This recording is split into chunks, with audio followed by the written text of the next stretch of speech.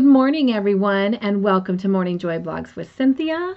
Today is Monday, April the 4th, and are you ready for this week? This is our first full week of April, and I am ready to plunge into it with you and with God at the helm.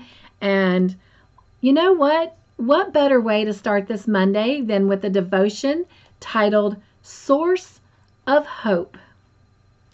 Our Bible verse comes from Romans chapter 15, verse 13, and it says, I pray that God, the source of hope, will fill you completely with joy and peace because you trust in Him. Then you will overflow with confident hope through the power of the Holy Spirit. Do I not say that God provides us with joy and He wants us to overflow our joy tanks? Well, there you go, my friends. God, your word tells me that your joy and peace bring hope, a confident belief in wonderful things. I can't yet see. I may need help remembering this from time to time when worries and problems cloud my vision. I get full of so many things, Lord. Things of this world take up space in my head, crowding out joy and peace and the hope that accompanies them.